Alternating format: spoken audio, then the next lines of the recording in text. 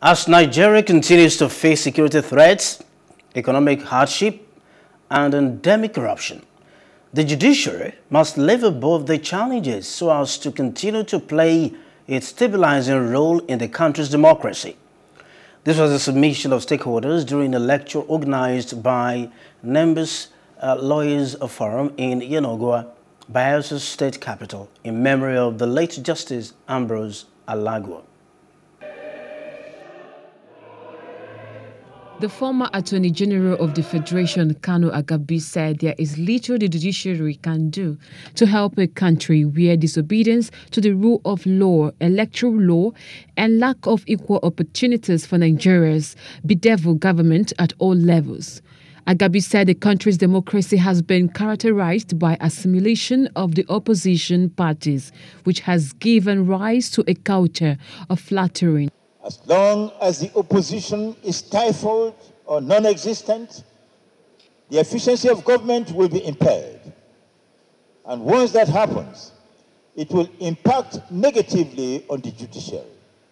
For over 30 years, during which we were under military rule, the dictators maintained law and order using their own machinery. They ousted the jurisdiction of the courts whenever they found it expedient to do so.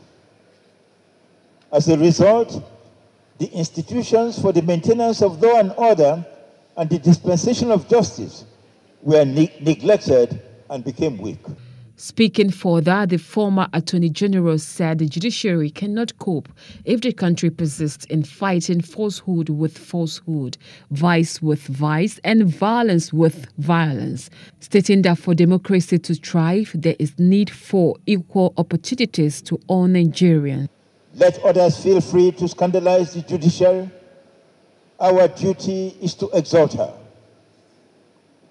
Our judiciary ought not to be treat, treated as that stone that the builders rejected, but afterwards put it in its proper place.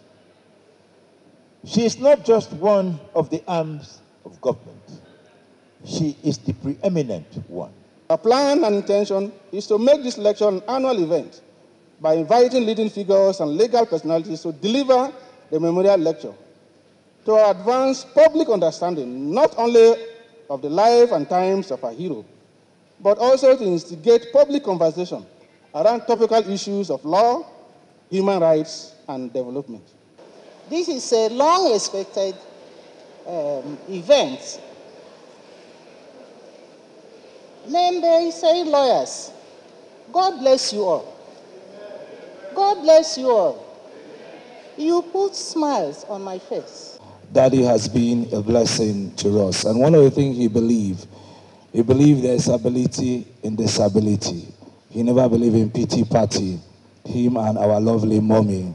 Legal practitioners of the lecture said since Nigeria became independent in 1960, the country has never been governed dramatically for more than 22 years at a stretch until the inception of the Fourth Republic in 1999. Hello, hope you enjoyed the news. Please do subscribe to our YouTube channel and don't forget to hit the notification button so you get notified about fresh news updates.